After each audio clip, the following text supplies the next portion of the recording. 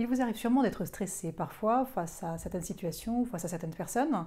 Vous êtes tétanisé, vous ne savez plus quoi dire. Ou à l'inverse, vous explosez de rage ou de colère, et puis derrière, vous vous dites mais pourquoi est-ce que j'ai réagi comme ça? Franchement, je ne comprends pas du tout. Et bien écoutez, dans cette vidéo, je vous expliquerai pourquoi le stress est un cadeau et pourquoi ce cadeau peut également être un cadeau empoisonné. Bonjour, je suis Karine Even. J'accompagne les salariés victimes d'un harcèlement au travail à retrouver bien-être, confiance en eux et stabilité professionnelle.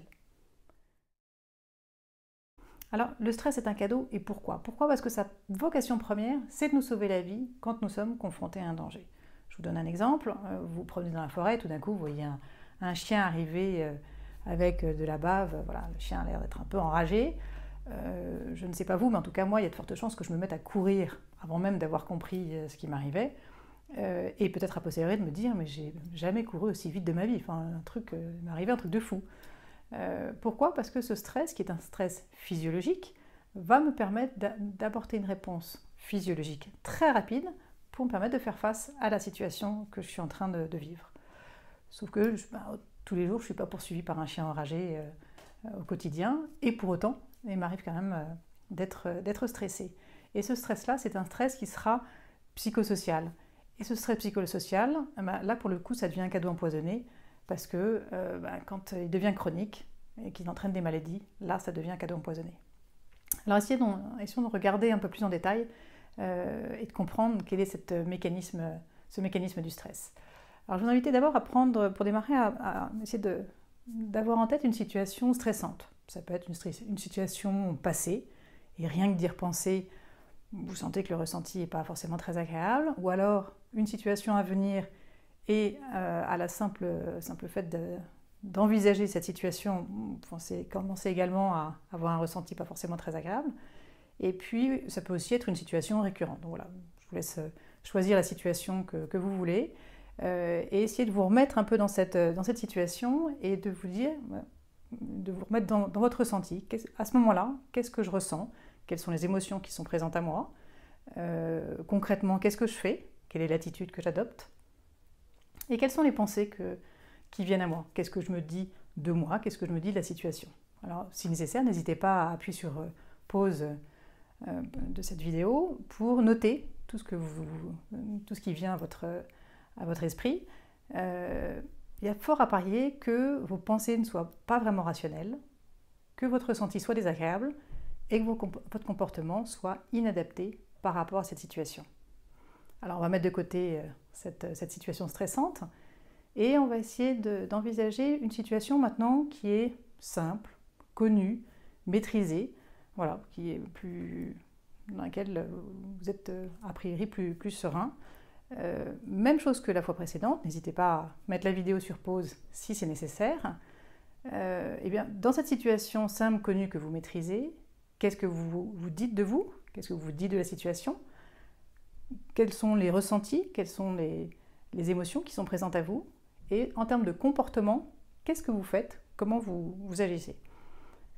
Pareil, mettez sur pause pour prendre le, temps nécessaire pour noter tout ça. Euh, il y a de fortes chances que votre, vos pensées soient rationnelles, et tout au moins beaucoup plus rationnelles que dans le premier exemple, que le ressenti soit agréable, et qu'en termes de comportement, vous ayez un comportement adapté à la situation. Alors pourquoi ce décalage entre euh, ressenti de stress et ressenti de calme? Eh bien, c'est en fonction du type d'intelligence que je vais utiliser face à une situation. Tous les jours, nous prenons 5 à 6 000 décisions tous les jours. Et pour autant, euh, la plupart de ces décisions se prennent de manière euh, euh, totalement automatique sans que nous en ayons conscience. Je vous donne un exemple. Si je suis devant mon lavabo le matin, j'ai ma brosse à dents dans une main, mon dentifrice dans l'autre, je ne sais pas vous, mais en tout cas, je ne vais pas passer 4 heures à me demander qu'est-ce que je mets sur quoi, qu'est-ce que je mets dans la bouche et comment je le fais. Je mobilise une intelligence dite apprise, voilà, fonction de mes expériences euh, passées, fonction de tout ce que j'ai, tout ce qui m'a enrichi au, fil de mon, expérience, de mon existence. Et je vais le faire de manière très euh, rapide, efficace. Voilà. je ne me pose pas de questions, savoir comment je vais me brosser les dents ce matin, et ce n'est pas un sujet tous les matins. Donc la plupart des 5 à 6 000 décisions euh, que nous prenons tous les jours se font de manière automatique. Et cette intelligence apprise, cette intelligence automatique, euh, eh bien, elle est confortable avec tout ce qui est habituel. L'exemple type que je, que je vous citais, pardon, euh, c'est le, brossage de dents. Euh, elle peut faire preuve de, rigidité, ce qui est formidable. Si je suis au volant de ma voiture, j'ai un feu rouge, voilà, ma rigidité apprise me, fait freiner pour m'arrêter au feu rouge, ce qui est quand même souhaitable pour les autres, pour, les autres voitures et pour moi-même. je peux simplifier. Quand une décision ou une situation est, simple et connue, euh, j'y vais, j'y vais pas, je la fais, je la fais pas, c'est bien, c'est mal. Voilà, je, vais avoir une certaine forme de, simplification.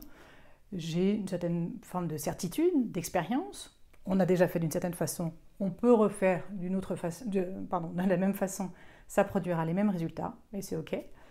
Et puis voilà, je sais ce que pensent les autres et je suis sensible au regard des autres. Et voilà, donc ce pilote automatique, il est extrêmement adapté face à un certain nombre de situations, encore une fois, que je, auxquelles je suis confrontée tous les jours. Et puis, bah, parfois, je suis, suis, confrontée à des situations qui sont plus inattendues, qui sont plus complexes, euh, qui sont nouvelles pour moi. Et dans cette situation, dans toutes ces situations qui sont euh, nouvelles et inattendues, eh bien, il est tout à fait souhaitable de mobiliser une intelligence qui sera plus une intelligence adaptative. Qu'est-ce que c'est qu'une intelligence adaptative? C'est une intelligence qui a, en gros, les caractéristiques opposées. C'est une intelligence qui va être euh, confortable avec une forme de, curiosité. Moi qui aime beaucoup les, voyages, imaginons que je vous emmène là, là tout de suite, je vous, emmène à, New Delhi.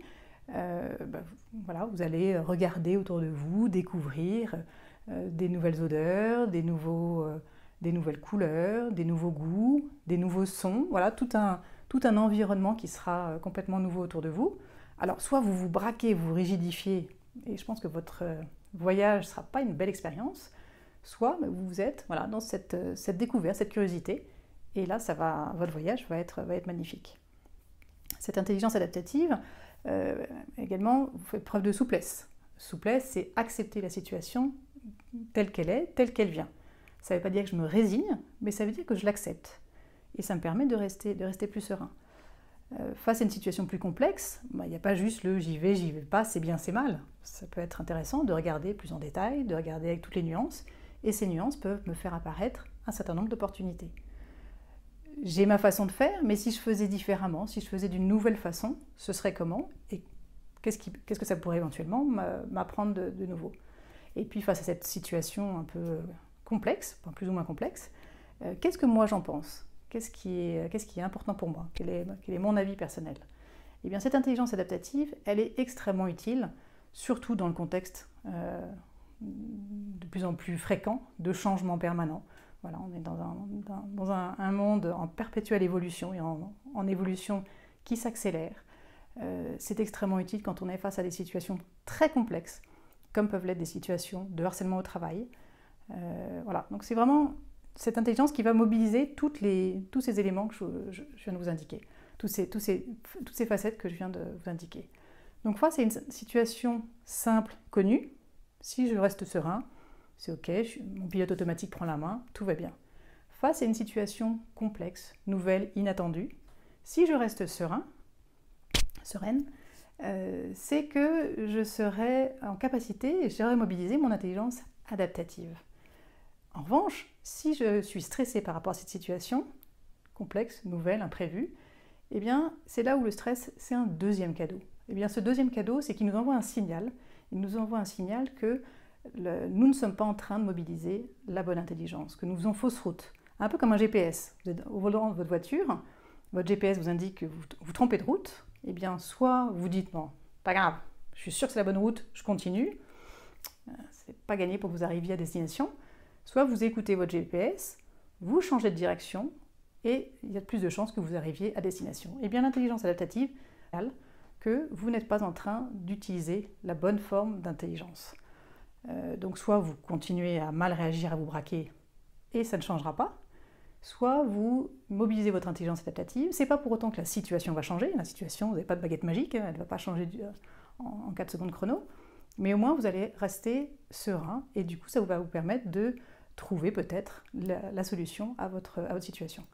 Alors je vous entends, hein, je vous, entends d'ici, vous allez me dire, bon, c'est bien gentil, c'est bien gentil, ok, sur le papier ça marche bien, concrètement, moi je fais comment? Parce que moi je suis quand même stressée de temps en temps, euh, ou très souvent, ou confrontée à une, relation conflictuelle vraiment compliquée. Qu'est-ce que je fais pour, euh, euh, pour gérer ce stress? Eh bien, la prochaine fois que ça vous arrive, je vous invite à essayer de vous dire, tiens, qu'est-ce que j'en penserais dans 10 ans? Ou alors, quels sont les trois avantages à la situation que je suis en train de vivre? Et ce qui compte, ce n'est pas la réponse à ces, à ces questions, mais c'est simplement le fait de se poser euh, cette question. Le fait de se poser cette question, vous mobilisez votre intelligence adaptative. Euh, donc, encore une fois, la situation ne change pas, mais l'attitude intérieure que vous allez avoir, euh, il y a de fortes chances qu'elle évolue. Alors, voilà, ça c'est un, exercice vraiment minute, en, quelques, en quelques secondes. avec mes clients, avec les clients que j'accompagne, je les invite à, tester vraiment tout un panel d'autres exercices pour leur permettre de mobiliser leur intelligence adaptative de manière à rester serein face à une situation complexe, nouvelle, imprévue. Parce que la, sérénité va leur permettre de, voilà, d'avoir la bonne attitude, un ressenti qui sera plus agréable et des pensées qui seront, plus, rationnelles. Euh, donc si ça vous intéresse d'en discuter avec moi, n'hésitez pas à prendre rendez-vous pour, euh, pour une séance gratuite. Je serai ravie de voir ça euh, en détail avec vous. Et d'ici là, je vous souhaite une bonne fin de journée et je vous dis prenez soin de vous. À très bientôt.